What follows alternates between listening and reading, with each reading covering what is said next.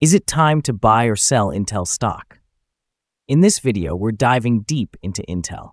Our initial report was published on our website on Monday, 24th June 2024, and now we're here to provide you with an even more detailed analysis. Remember to subscribe, hit the like button, and turn on the notification bell to stay updated on our latest analysis. You don't want to miss any crucial updates that could impact your investments. Enhance your trading decisions by trying our newly launched AI stock analysis tool powered by GPT-4 at stockinvest.us. Tap into the power of AI and get a free price predictions and deep analysis for anyone among 25,000 companies worldwide today. Please note that this video is for informational purposes only and should not be considered as financial advice. Since 2024, our system has ranked Intel as a sell candidate, giving it a score of negative 2.24. Let's take a look at the stock's performance during this period. We will continue monitoring this evaluation to see how it unfolds in the coming days. The stock lies in the middle of a very wide and falling trend in the short term, indicating further decline within the trend. The current three month trend suggests a potential negative 26.23% change over the next three months, with a possible return between negative 41.38% and negative 19.39%. As for the 12 month trend, it suggests a 1.31% change over the next 12 months, with a potential return between negative 0.82% and 69.29%. This translates to a price range of $30.32 to $51.75 after a year. Our latest daily update for Intel includes the headline Weaker technical forecast for Intel as stock downgraded to sell candidate. The Intel stock price fell by negative 1.67% on the last day Monday, 24th June 2024, from $31.09 to $30.57. During the last trading day, the stock fluctuated 2.92% from a day low at $30.53 to a day high of $31.42. The price has fallen in six of the last 10 days and is downbound by negative 0.55% for this period.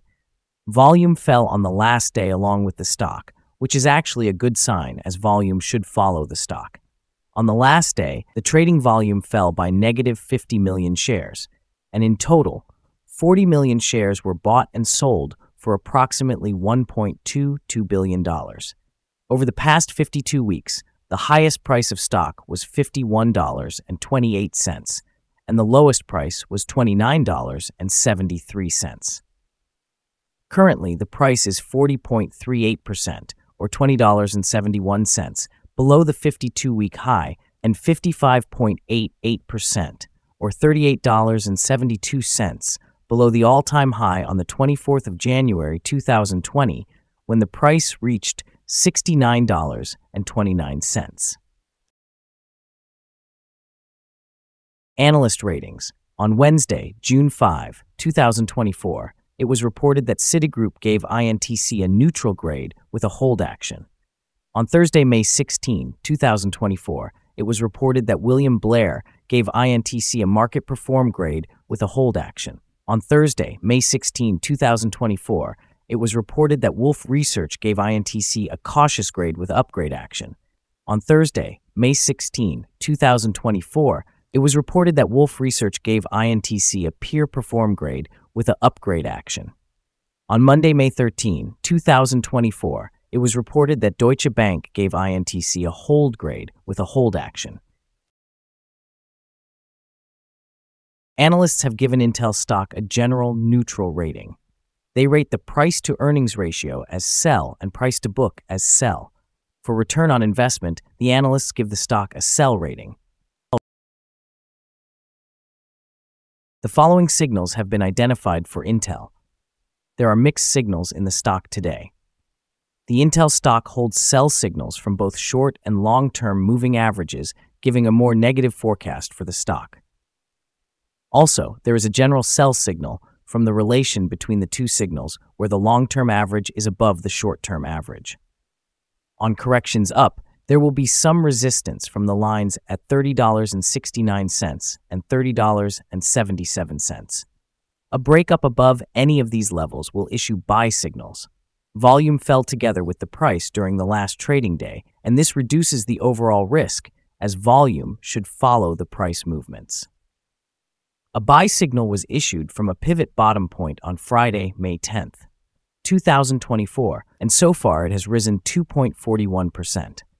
Further rise is indicated until a new top pivot has been found.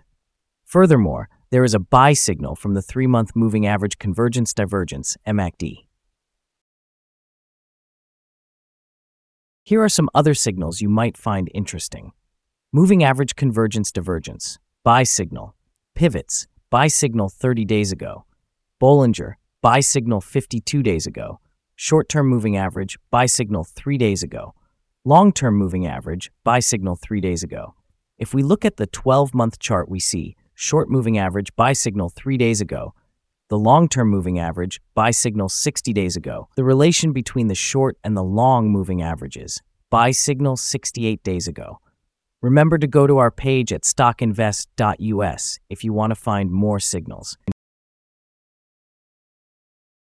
Support, risk, and stop loss for Intel.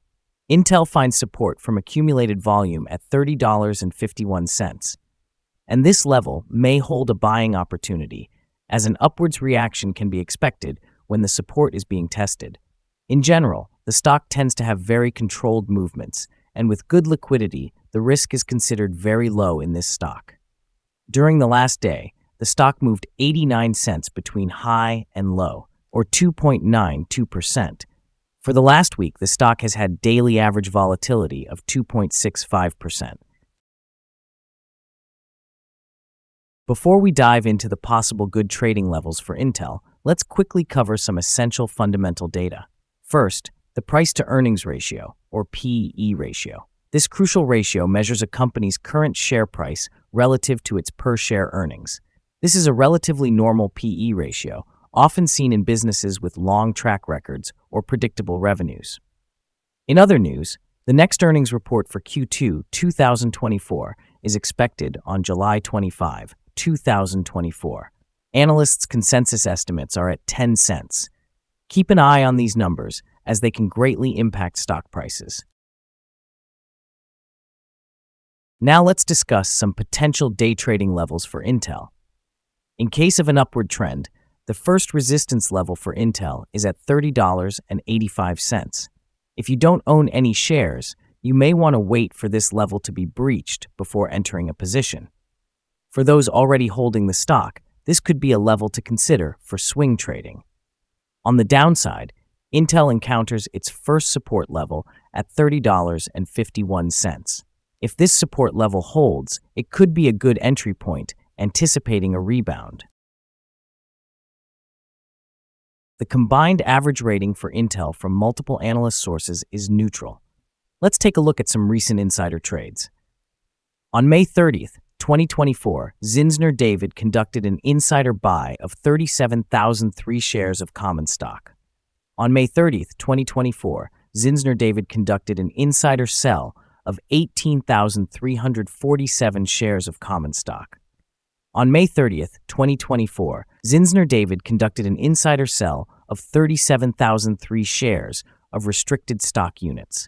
On May 30th, 2024, Schell Christoph conducted an insider sell of 41,712 shares of restricted stock units.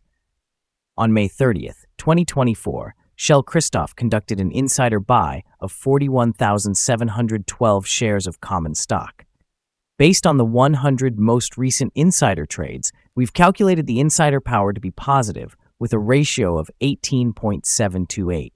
Overall, insiders purchased 653,562 shares and sold 422,865 shares in the last 100 trades. We have a negative evaluation for this stock and no stop loss has been set. Is Intel stock a good buy? Intel holds several negative signals, and we believe that it will still perform weakly in the next couple of days or weeks. We therefore hold a negative evaluation of this stock. Due to some small weaknesses in the technical picture, we have downgraded our analysis conclusion for this stock since the last evaluation from a buy to a sell candidate. After analyzing the volatility and movements for the last trading day, our systems find that the current price is undervalued. For trading on Tuesday, June 25th, we expect Intel to open up 27 cents and start trading at $30.84. We remind you that trading involves a high risk of losing money and that you should speak with a financial advisor before buying or selling any securities. You should not base your investment decision upon stockinvest.us. By using the information, you agree and are held liable for your own investment decisions. This is our current view of the stock. Do you agree or disagree? Comment below and share your thoughts. What is your target for the stock? Remember to like and subscribe. We wish you successful trading and have a beautiful day with regards from all of us here at Stock Invest.